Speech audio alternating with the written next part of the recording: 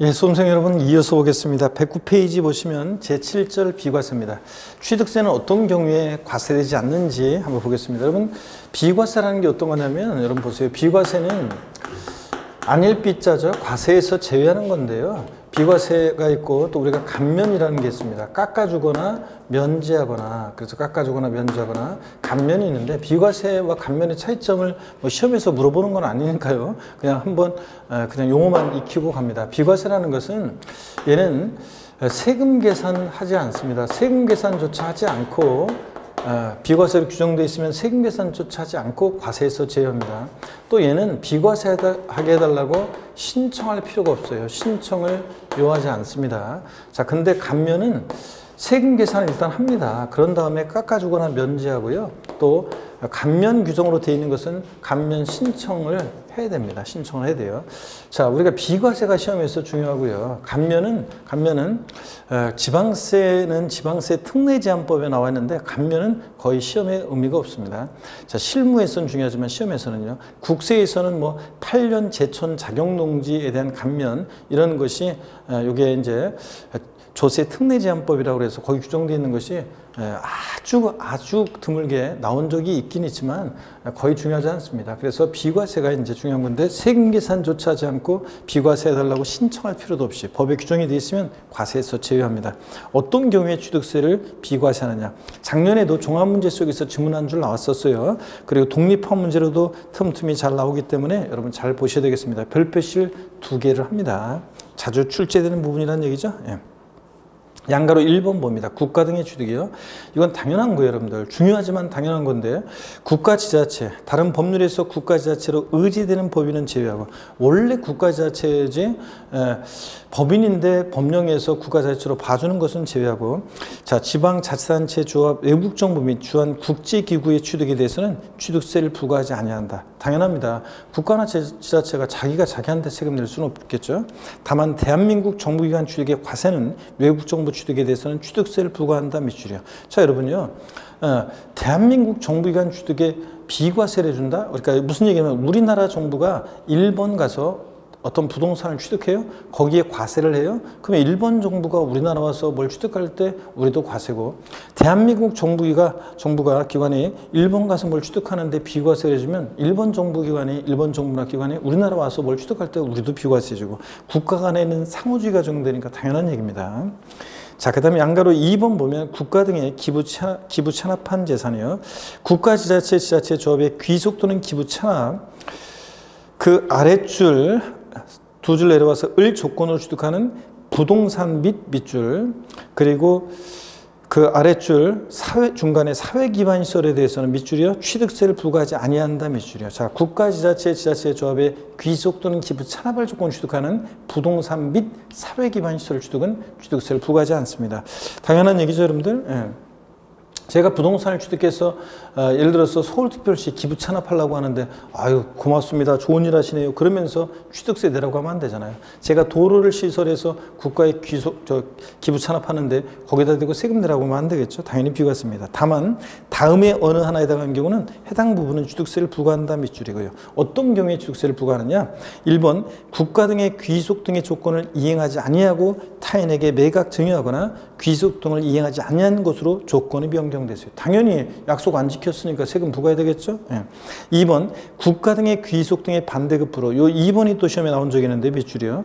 국가 등의 귀속 등의 반대급부로 국가 등이 소유하고 있는 부동산 및 사회기반시설을 무상으로 양려받거나 기부찬압 대상물의 무상 사용권을 제공받은 경우 건물을 지어서 서울특별시에 기부찬압한다고 하고서 뭐 30년 뭐 무상 사용권을 제공받는다거나 자 이러면 과세를 합니다.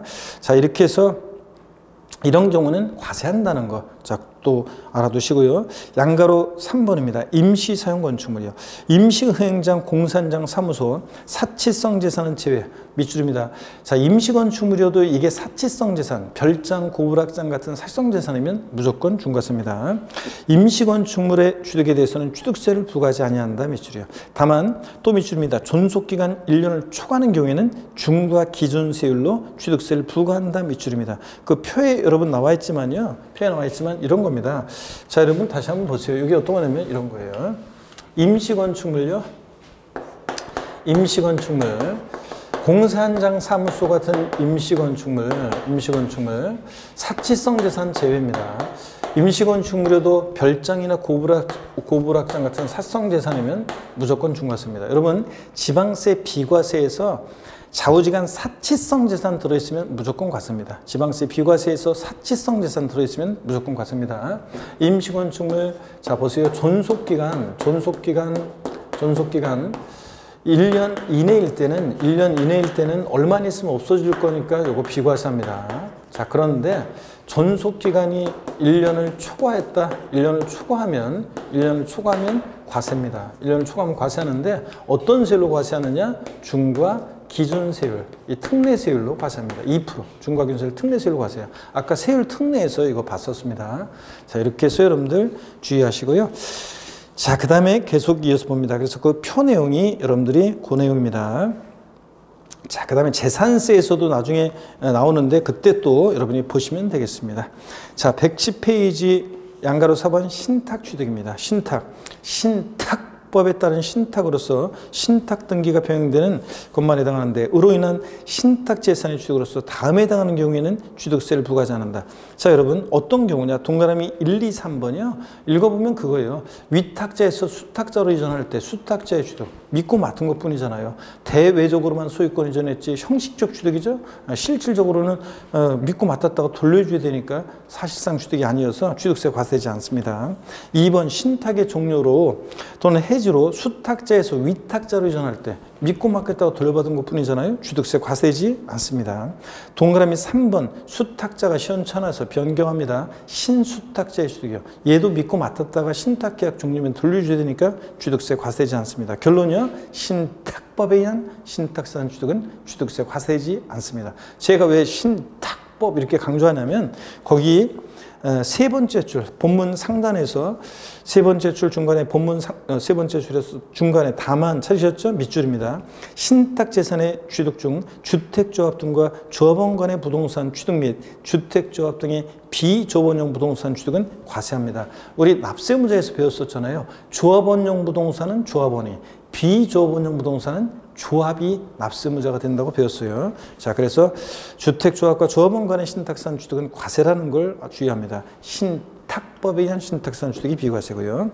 그 다음에 여러분요, 거기 참고 형식적 소유권 취득에 대한 비과세, 그의 신탁은 신탁법에 의한 신탁으로서 신탁 등기가 병행되는 것을 말하므로 명의신탁 해지를 원인으로 한 취득은 과세 대상이다. 여러분 명의신탁은 과세예요.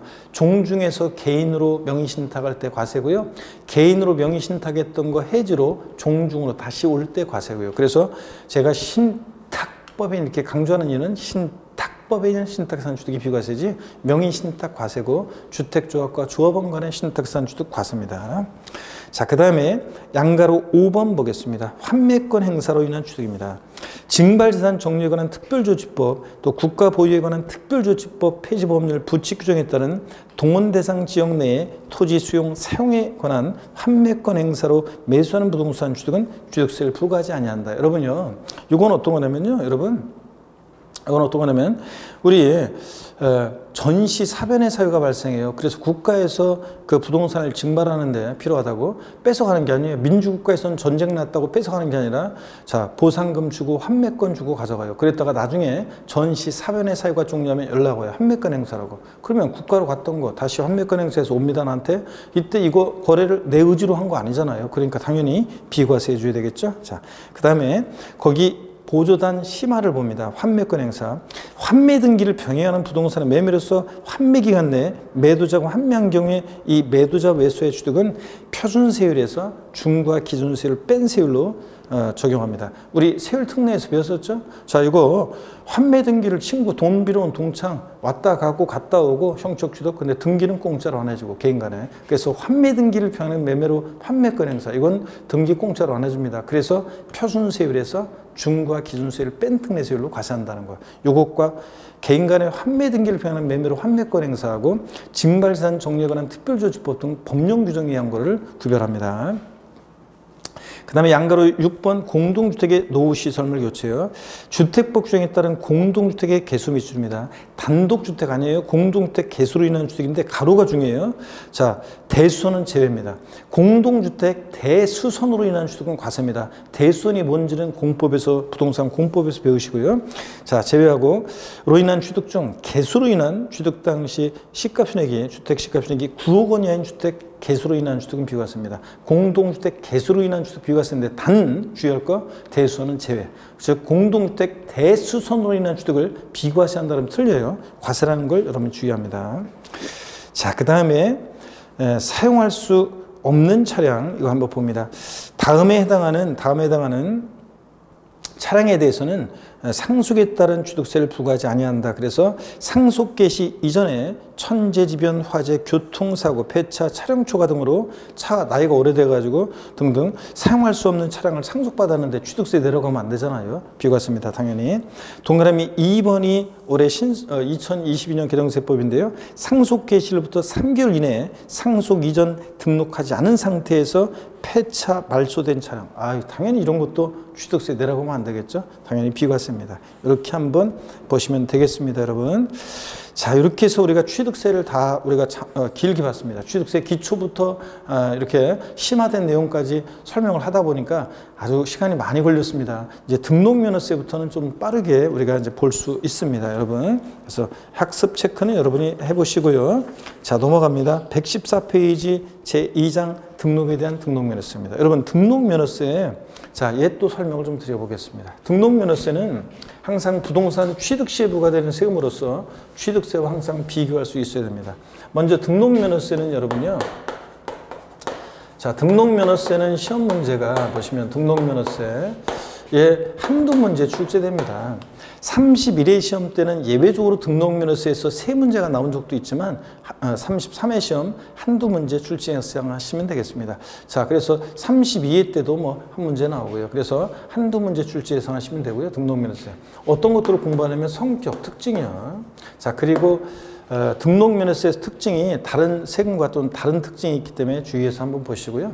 등록 면허세 또 어, 누가 납세무자가 되는지 또 등록면허세는 등록면허세는 취득세나 재산세나 종부세나 양도소득세는 과세 대상이 굉장히 중요한데 등록면허세는 부동산 등기에 대한 것만 어, 시험 범위로 보시면 되기 때문에 과세 대상이 어떤 것을 등기 등록할 때 부과되느냐 등록면허세는 부동산 등기만 보시, 잘 보시면 되기 때문에 일단 부동산에 관한 것만 그렇기 때문에 예 등록면허세는 과세 대상은 시험에 의미가 없고요. 자, 납세무자를 잘 보시면 됩니다. 그 다음에 우리가 등록면허세 세금 계산해야죠. 그래서 과세 표준은 어떻게 결정되고 몇 프로 세율이 정되는지 등록면허세는 여러분요.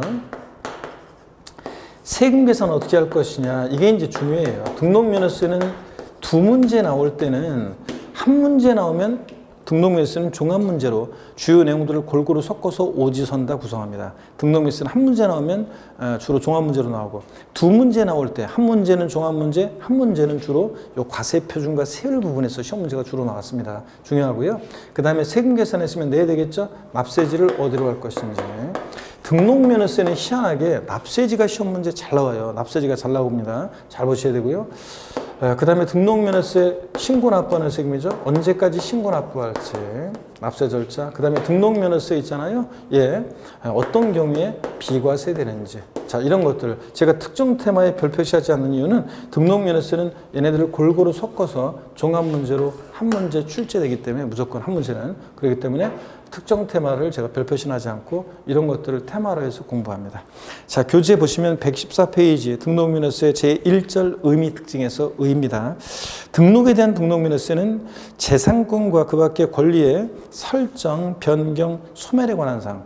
여러분 설정 그러면 무슨 무슨 저당권 설정 등기, 임차권 설정 등기 같은 설정 등기, 변경, 토지 지목 변경 등기, 말, 어, 저, 건축물 구조 변경 등기 같은 변경 등기, 소멸은 말소 등기를 말합니다.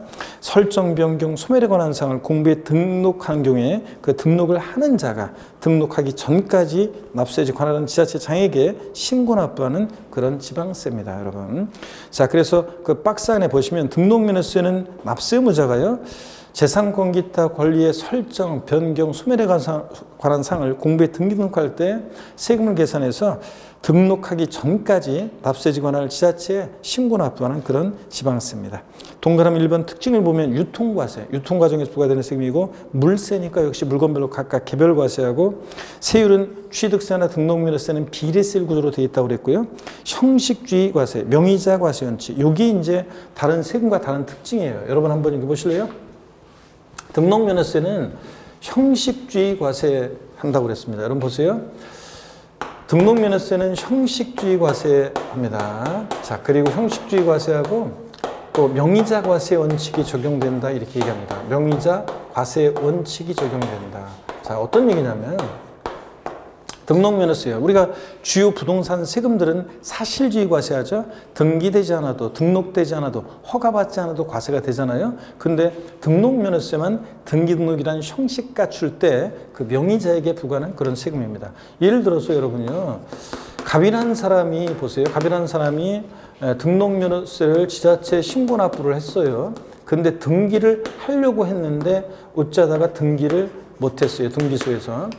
자, 여러분 항상 등록면허세 공부할 때 이걸 주의하셔야 돼요. 등록면허세 과세 주체는 도구, 지방자치단체인데 부과하는 주체는 근데 등록면허세요. 등록관서, 등록관청은 그 해당 지자체 내부가 될 수도 있고요. 자동차 같은 것은 차량 사업 등록소 뭐 이런 데 하잖아요.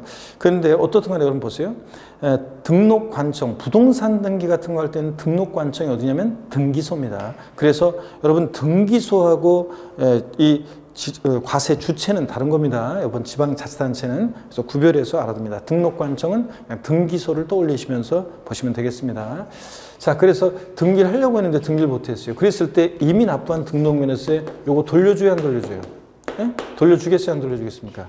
요거 돌려줍니다, 여러분. 자, 왜 그러냐면 제가 여러분 한식 뷔페 같은 데를 좀 좋아해요. 요즘은 코로나 때문에 제가 사람 많은 곳은 안 가는데 음식점을. 근데 예전에는 그런 데가 참 좋았는데 자주 가는데 왜 그러냐면요. 어떤 음식을 먹을지 고민 안 해도 되고요. 그 조리 시간을 기다리지 않아도 되잖아요. 그냥 선불로 내고 들어가요. 그러면 밥하고 반찬이 쫙 깔려 있으니까 제가 먹고 싶은 것만 담아가지고 어, 빨리 먹고 나올 수 있잖아요. 그래서 제가 그런 데를 좋아했는데 하루는 한식 뷔페 갔어요. 갔더니 한식 뷔페 갔는데 예, 제가 빨리 밥 먹고 나오려고 어, 들어갔는데 선불로 내고 들어갔어요. 밥솥을 딱 열었더니 밥이 없어요. 사장님 밥이 없는데요? 그랬더니 사장님이 오더니 어휴 밥 떨어진지 몰랐는데 30분 기다리셔야 되는데. 내가 언제 30분 어떻게 기다리고 있어요? 나와야죠? 그때 나올 때 그냥 나와야 돼요? 선불로 낸 거 받고 나와야 돼요? 받고 나와야죠 여러분. 자 등, 등록면허세는 등기등록이라는 형식 갖출 때 부과하는 세금인데 등기가 없으면 자 밥 못 먹었으니까 돌려줘야죠. 네. 또 봅니다 여러분들. 갑이란 사람과 을이란 사람이 네, 어떤 부동산을 거래하는데 어떤 부동산을 거래하는데 예, 우리 등록면허세를 지자체에 신고 납부를 했고요. 자, 그 다음에 등기도 어, 됐습니다. 을명의로. 근데 애초에 얘네들 사이에 계약의 무효 취소의 원인이 있었습니다. 그래서 을이 등기가 말소되고 소유권이 을에서 갑으로 소유권이 환원합니다. 소유권이 환원해요. 자, 이랬을 때 을이 이미 납부한 등록면허세 요거 돌려준다 안 돌려준다? 예? 요거 돌려줘야 안 돌려줘요? 돌려주지 않습니다. 왜 그러냐고요? 제가 하루는 한식 뷔페를 갔더니요. 거기 사장님이 오늘 오곡밥인데 어떠세요? 그래서 어 좋죠. 그래서 제가요 밥을 3분의 어, 1을 거의 다 먹었어요. 자 그리고 어, 오곡밥이면 곡식이 다섯 개 있어야 되잖아요. 그래서 세 봤어요. 아무리 세 봐도 사곡밥이네. 아 사장님 아니 오곡밥이라고 했더니 사곡밥이잖아요. 아 사기를 치시고 말이야. 아까 돈 낸 거 빨리 돌려줘요. 이러면 돼야 안 돼요? 안 된다고 그랬죠? 자 여러분 등록면허세요. 등기등록이라는 형식 갖출 때 부과하는 세금이에요. 얘가 등기할 만한 실체적 권리가 아니 안 따져요. 얘가 절차만 정당하게 등기등록이 되면 납부한 그 명의자에게 부과하기 때문에 이미 납부한 등록 면허세 영향을 미치지 않습니다. 밥 먹었으면 안 돌려줘요. 밥 못 먹었으면 돌려줍니다. 아셨죠? 이게 형식주의 명의자과세 원칙입니다. 등기등록이라는 형식 갖출 때 명의자에게 부과한다는 거. 자, 그 얘기고요. 자, 그래서 교재 에, 그런 얘기고 그 다음에 지방세고 오른쪽 박스 안에 오른쪽 보니까 특징 지방세고 도세고 구세입니다. 그래서 도가 있는 곳에서는 도, 구가 있는 곳, 어, 특별시 광역시에서는 구가 과세 주체가 됩니다. 직접세, 보통세, 독립세 이건 우리 시험에 관계된 주요 세금들의 공통적인 특징입니다. 양가로 1번 재산권이요. 자, 재산권이라는 거 여러분들 그냥 한번 읽어보는 거예요. 이런 것들은. 자, 115페이지 양가로 2번 등록이요. 자, 요 등록이라는 게 뭐냐, 여러분. 등록면허서에서 등록이라는 게 뭔지 한번 보겠습니다. 등록면허서에서 등록이란 재산권과 그 밖의 권리의 설정, 변경, 소멸에 관한 사항을 공부에 등기하거나 등록하는 것을 말합니다. 등록에는 등기도 포함입니다, 여러분. 다만 여기 밑줄입니다. 취득을 원인으로 이루어지는 등기등록은 제외하되 자 취득을 원인으로 이루어지는 등기등록은 왜 제외하느냐 취득세로 갔기 때문에 그래요. 다만 다음에 언원에 해당하는 등기등록은 취득세에 불과할 수 없는 경우로 등록료세에 불과한다 밑줄이고요. 자 그러면 여러분요 일단 한번 보세요. 우리가 등록면허세라는 세금은요 여러분 등록면허세라는 세금은 2011년도에 탄생됐는데 이런 거예요. 우리가 2010년도까지 취득세가 있었어요. 그리고 등기할 때 등록세 있었다고 그랬잖아요. 그래서 우리가 예전에는 부동산 취득하면 취득세 신고 납부하고 등기하면서 등록세 신고 납부했었는데 자 예전에 등록세에서 취득을 원인으로 했던 등기 등록 내용과 그 외 상으로 나눕니다. 취득을 원인으로 하는 등기라는 건 뭐냐? 건물 신축하면 원시 취득했죠? 소유권 보존 등기합니다. 매매나 증여 등으로 승계 취득할 때, 승계 취득할 때는 소유권 이전 등기합니다. 이렇게 소유권 보존 등기나 이전 등기 같은 원시 취득, 승계 취득, 취득을 원인으로 하는 등기는 취득세로 통합을 시켰어요. 뭐하러 두 번 신고하냐? 한 번에 하자 그래서. 그래서 취득세로 통합이 됐습니다. 그래서 여러분, 우리가 흔히 매매로 일반적인 토지나 건축물 취득했을 때 취득세 4%를 내잖아요, 지금. 그러면 이 4%는 옛날에 취득세 2%, 통합 전에, 통합 전에 옛날 취득세 2%, 옛날 통합 전에 등록세 유상 취득 시 2%가 통합된 거예요. 그래서 우리가 지금 4%를 내면 여기에는 옛날 등기 비용도 포함되어 있는 겁니다. 그래서 지금은 등록세는 없어지고요. 지금은 등록세는 없어지고 자, 취득을 원인으로 하는 등기 등록 내용은 취득세로 통합돼서 취득세를 내면 여기에 등기 비용도 포함되어 있습니다. 우리가 부동산 여러분 취득할 때 취득세를 내면 따로 등록세를 신고해야 되는 건 아닙니다. 자, 그 다음에 그 외 사항이요. 재산권 기타 권리의 설정, 변경, 소멸과 관련한 요 사항은, 요 사항은 옛날에 면허세가 있었는데 이 면허세랑 통합을 시킨 거예요. 그래서 자, 이걸 통합을 시켜가지고 지금 예, 취득과 무관한 그 외 등록세 사항과 면허세를 통합을 시켜서 2011년도부터 등록 면허세라는 세금이 신설이 된 겁니다. 그래서 지금 현재 등록 면허세라는 세금은 등록에 대한 등록 면허세, 줄여서 등록분과 등록에 대한 것과 그 다음에 면허에 대한 등록 면허세로 나눠져요. 면허분으로. 근데 이 종전에 면허세가 온, 종전에 면허세가 온 이 면허분은 시험에 관계가 없고요. 이건 시험에 관계 없고, 예, 종전에 등록세 일부가, 등록세 일부, 재산권 기타 권리의 설정, 변경, 소멸과 관련한 이 일부 내용이온 이 등록에 대한 등록면허세가 우리 시험법입니다. 제가 조세 총론부터 항상 등록면허세 그러면 의뢰의 우리는 뭘 얘기한 거냐면 이 등록에 대한 등록면허세를 얘기한 겁니다. 자, 그래서 이런 얘기를 하는 거. 그러니까 취득을 원인으로 하는 등록은 제외하되 등록면허세 등록에서 취득을 원인으로 하는 등록은 제외합니다. 어디로 갔으니까 취득세로.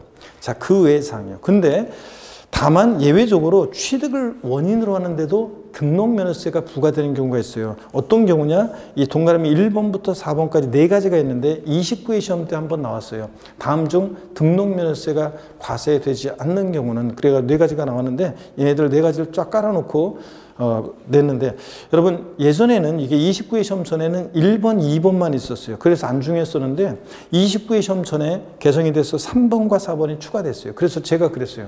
아니 오지선 답 문제인데 4개가 나왔으니까 4개가 됐으니까 이거 중요하다. 그래서 문제 내기 딱 좋다. 그래가지고 제가 다음 중 등록 면허세 과세하지 않는 것은 그래서 얘 네 가지를 딱 들어가서 붙여서 4번까지 만들어 놓고 5번에 등록면허세 과세되지 않는 것을 딱 집어넣거든요. 그랬더니 29회 시험 때 진짜예요.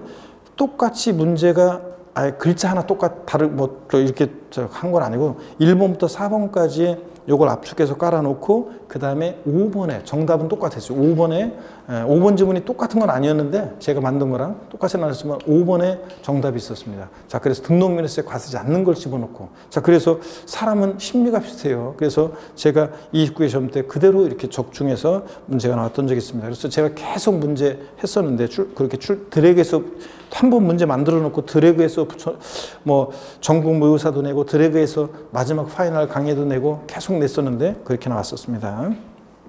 자, 1번 봅니다. 취득을 원인으로 하는데도 예외적으로 등록면허세 과세되는 경우 광업권, 어업권 및 양식업권 취득에 따른 등록이요. 자, 이런 거요.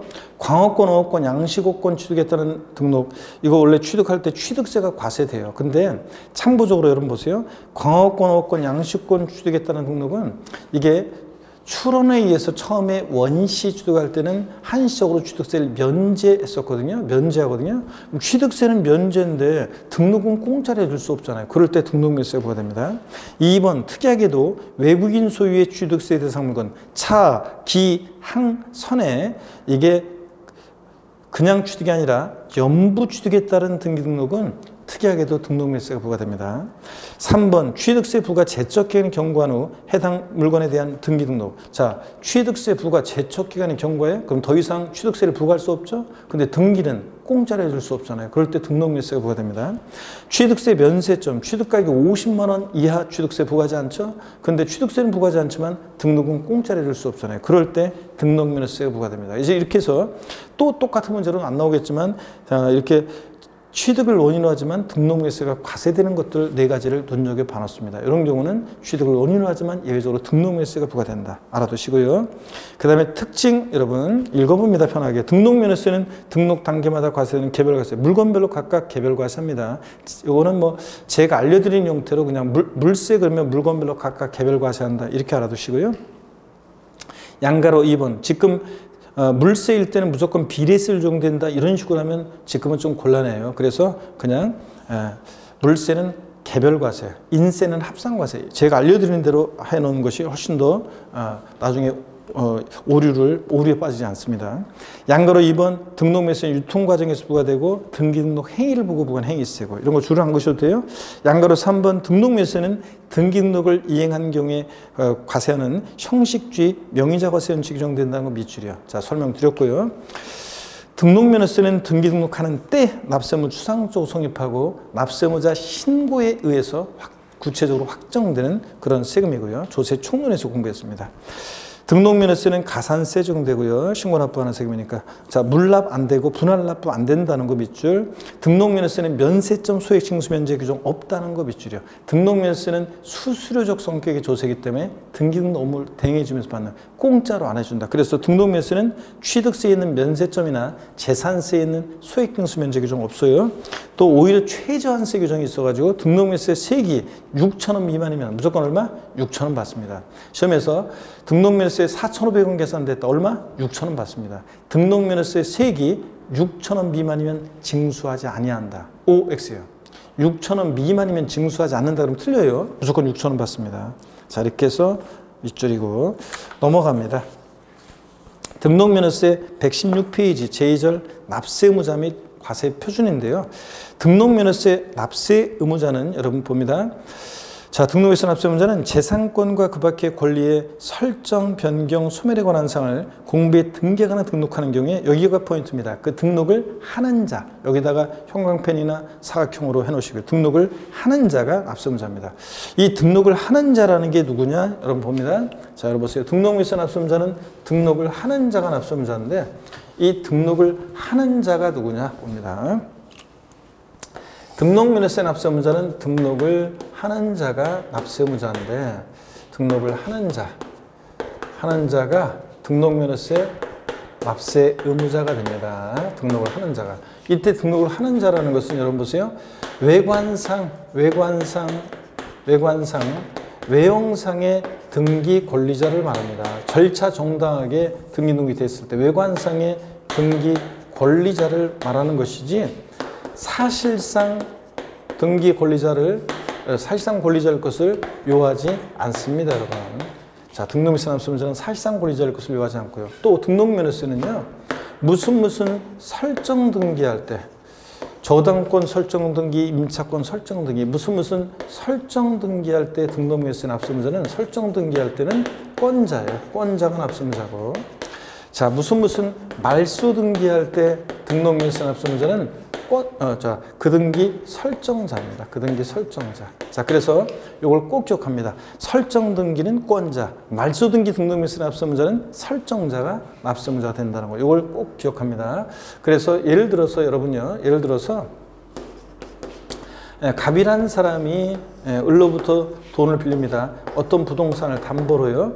자, 그럴 때 얘 채무자고, 채무자고, 그 다음에 얘 채권자입니다. 채권자고. 그러면 자, 저당권 설정 등기할 때 납세문자는 누구냐? 그러면 저당권 설정 등기할 때는 여러분, 자, 누가 납세문자라고요? 얘가 책, 어, 우리가 저, 얘는 저당권 설정자고, 저당권 설정자고, 얘는 저당권자입니다. 자, 그러면 저당권 설정 등기 납세 의무자는 누구냐면 저당권자. 얘가 설정 등기 납세 의무자가 되는 거고요. 설정 등기 납세 의무자가 되는 거고. 그 다음에 그 다음에 자 설정자 얘는 설정자는 나중에 말소하게 되면 얘, 얘가 말소 등기 말소 등기 납세 의무자가 됩니다. 말소 등기 납세 의무자가 되고요. 자 이렇게 해서 여러분 이해되십니까 여러분? 하여튼 설정 등기는 권자, 말소 등기는 설정자입니다. 그래서 거기 우리 교재 여러분요. 저당권 설정, 지역권 설정, 전세권 설정. 자, 저당권 설정은 저당권자고, 예, 그 다음에 지, 어, 역권 설정은 지역권자가 납세자자 하여튼 설정 등기는 권자고, 말소 등기는 설정자가 납세자가 됩니다, 여러분. 자, 이런 것들. 자, 한 번에 제가 몰아서 설명드렸습니다. 하여튼 설정 등기는 권자, 말소 등기는 설정자. 이렇게 여러분이 적어 놓고 알아두시고요. 그 다음에 양가로 2번 봅니다. 등기등록이 된 후, 이후 법원의 판결에 의해 그 등기등록이 무효 취소가 되어 등기등록이 말소된다 하더라도 이미 납부한 등록면허세 과원납으로 환급할 수 없다 그랬습니다. 아까 그랬죠 여러분? 자 한식 뷔페 오곡밥이요. 예? 밥 먹었다 그러면 안 돌려줍니다 여러분. 자 그런 얘기입니다. 절차만 정당히 등기등록이 되면요. 자 그래서 등록면허세 이런 거라는 거. 자그 다음에 이제 등록면허세 과세표준은 여러분 보세요. 과세표준은 먼저 신고한 경우 부동산 등기 시 등록면허세는요. 부동산에 대한 어, 등록면허세 과세 표준은 등기등록 당시 신고가액으로 한다 밑줄짝이요. 바꾸면 취득 당시로 바꿔요. 거기 보조단 참고 취득세와 과세 표준과 비교 별표 시하시고 취득세는 과세 표준이 취득 당시 신고하는 가액, 취득 당시 시가 표준액 이런 식으로 취득 당시를 기준으로 하는데 등록면허세는 등록 당시 가액을 기준으로 합니다. 등록 당시 신고하는 가액, 등록 당시 시가 표준액 이런 식으로. 근데 시험에서 바꾸면 뻔하죠. 등록면허세 과세 표준은 원칙적으로 부동산 등록에 대한 등록면허세 과세 표준은 취득 당시 신고한 가액으로 한다. X입니다. 취득 당시 가액으로 하면 틀려요. 아, 등록 당시 신고한 가액으로 합니다. 밑줄.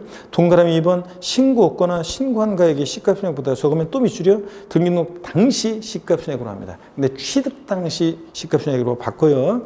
아, 꼭 주의합니다. 등록면허세는 등록 당시 가액을 기준으로 합니다.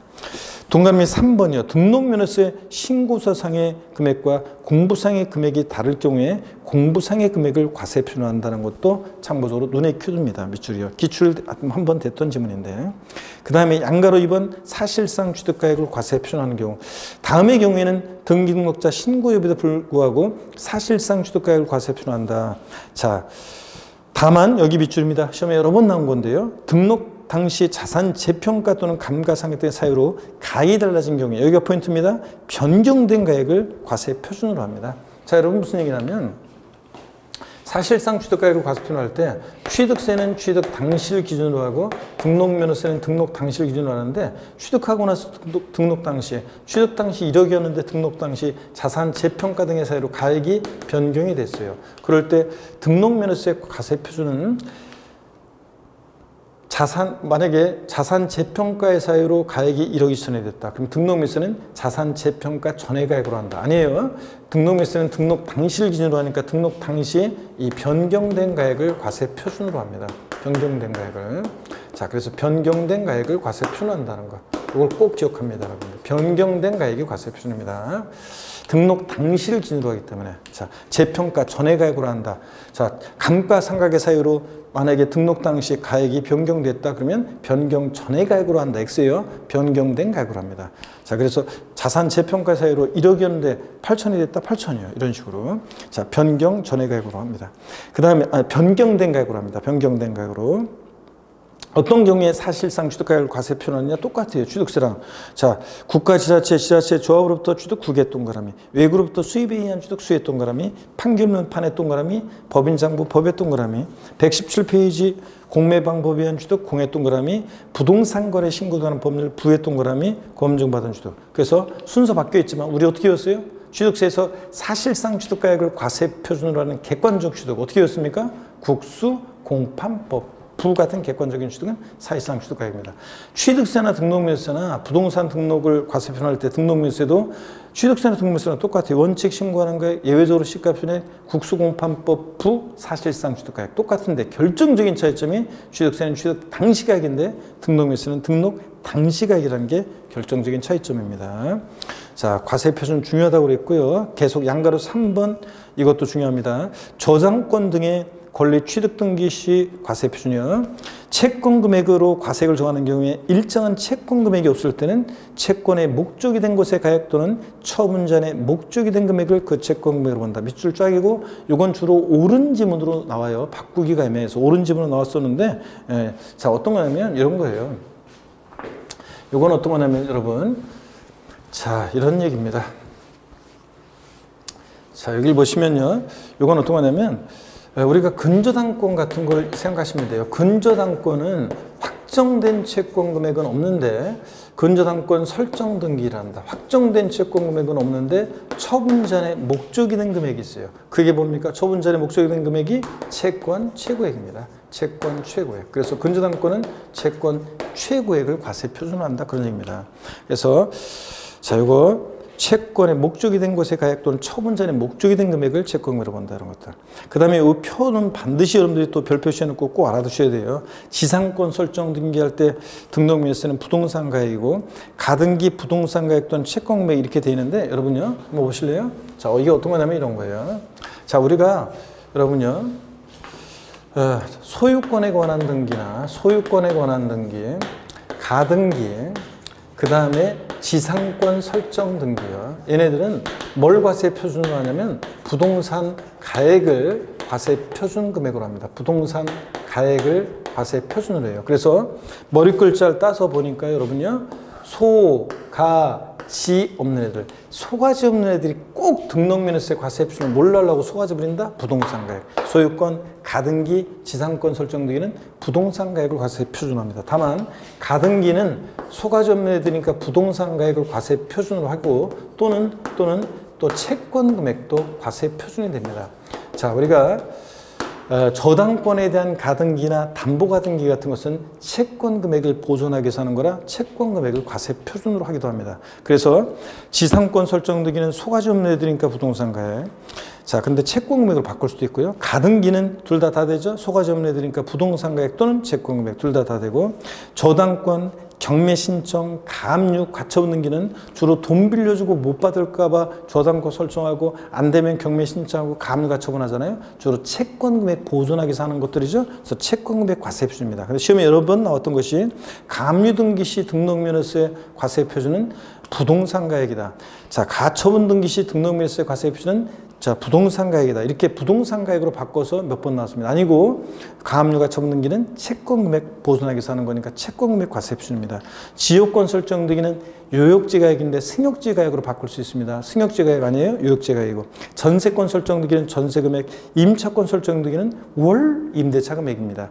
임차 보증금으로 바꿔서 낼 가능성이 높았는데 그래서 그렇게 바꾸면 그렇게 바꿀 거라고 했는데 이미 시험에 그렇게 바꿔서 나온 적이 있습니다. 임차권 설정 등기는 월 임대차 금액이지 임차 보증금 아닙니다. 양가로 4번 건수가 과세 표준되는 것들이 있어요. 각종의 말소 등기, 토지 지목 변경 등기 같은 변경 등기, 토지 합병 합필 등기, 건물 구조 변경 등기 이런 것도 자 이런 것들은 건수가 과세 표준이 됩니다. 건수요. 자 건수 과세 표준이 되고 그 다음에 하나만 더 추가하면 거기다 동그라미 4번에다가 아래다가 하나만 더 추가하면 5번에 놓고 옆에다가 동그라미 5번에 놓고 담보물 추가 등기요. 담보물을 추가하는 등기도 담보물 추가 등기도요. 담보물 추가하는 등기도 건수가 과세 표준이 됩니다. 예를 들어서 어, 갑이라는 사람이 은행에서 돈을 빌렸습니다. 자, 예를 들어서 뭐 1억짜리 부동산을 담보로 해서 은행에서 채권 금액 자 은행에서 만약에 6천을 빌렸습니다. 근데 아, 담보 비율 정책이 바뀌어서 이제 1억짜리 아, 부동산 갖고는 6천만 원을 담보할 수 없다고 담보물 추가를 요구합니다. 그럴 때 이 담보물 추가할 때 담보물을 추가할 때 이거 또 또 만약에 우리가 저당권 설정 등기는 부동산 가액을 과세 표준으로 하는 것이 아니라 이게 아니라 부동산 가액 1억이고 채권금이 6천이면 우리가 저당권 설정 등기는 채권 금액을 과세 표준에서 세금에서 합니다. 근데 담보물 추가할 때 또 6천으로 하면 안 되잖아요. 그러니까 담보물 추가할 때는 건수로 건당 건수로 건당 6천 원 받고 해줍니다. 그래서 담보물 추가 등기도 건수가 과세 표준이라는 거 하나 더 추가하고요. 자, 그 다음에 자, 32의 예제 문제 한번 풀고 자, 어, 맞추려고 하는데요. 한번 봅니다. 고자인 32회 때 문제입니다. 고자인 개인 을은 갑이 소유한 부동산 시가 6억 원에 전세기간 2년 전세보증금 3억 원으로 하는 전세계약을 체결하고 전세권 설정 등기했다. 지방세법상 등록밀세에 관한 설명으로 옳은 것은 그랬습니다. 자, 과세표준은 6억 원이다 그런데 여러분 전세권 설정 등기할 때 등록면에서의 과세표준은 뭐로 합니까? 전세 금액이요. 전세 금액이 얼마예요? 보증금 3억 원이네요. 네, 보증금 3억 원이 되고요. 전세 보증금이 전세 금액이 과세표준이잖아요. 전세 보증금이. 그다음에 표준세율은 전세 보증금액의 1천분의 8이 다른데 여러분 나중에 우리 다음 에 하겠지만 소유권 이해 권리들은 세율은 다 1천분의 2, 0.2%입니다. 소유권 이해 권리들은 다 0.2%예요. 1천분의 8이 아니라 1천분의 2고 그 다음에 납부세금 6천 원이 다른데 등록면허세요. 등록면허세는 자 지금 전세 보증금을 과세 표준하죠. 3억 원을. 여기다가 3억 원에 0.2%니까 얼마입니까? 2, 3은 6. 60만 원이죠 여러분들? 6천 원이 아니라 60만 원이고 납부세금, 아, 납세무자는 을이 다른데 설정 등기는 누구라고요? 권자. 저한테 배운 분들은 전, 어, 하 이런 거 저한테 배운 분들은 설정 등기는 권자, 말소 등기는 설정자. 자, 전세권 설정 등기니까 누구예요? 권자. 전세권자는 누굽니까? 전세권자는 누구예요? 전세권자는 누가 자 고자 개인 을은 갑이 소유한 부동산에 대해서 이제 전세권 계약을 체결하는 그 을이 을이 납세면 전세권자죠. 아, 전세권자는 을입니다. 을이 전세권자고 자 갑은 전세권 설정자고요. 그 다음에 납세지는 갑의 주소지다. 지방세는 납세지 어디라고요? 물건 소재지죠. 그래서 부동산 소재지가 돼야죠. 자 부동산 소재지가 돼야지. 그래서 틀렸습니다. 자, 이렇게 해서 여러분들 어, 작년에 32회 때 종합문제식으로 이렇게 사례로 형으로 나왔는데 아, 저한테 배운 분들은 뭐 답은 어렵지 않았습니다. 설정 등기는 권자 이거였습니다. 자, 다 배웠던 내용이었고요. 자, 118페이지 제3절 세율인데 다음 시간에 등록면허세, 세율 납세 절차, 비과세 등등 또 다 보도록 하겠습니다. 여러분 다음 시간에 씩씩한 모습으로 다시 뵙겠습니다. 힘내십시오. 고맙습니다.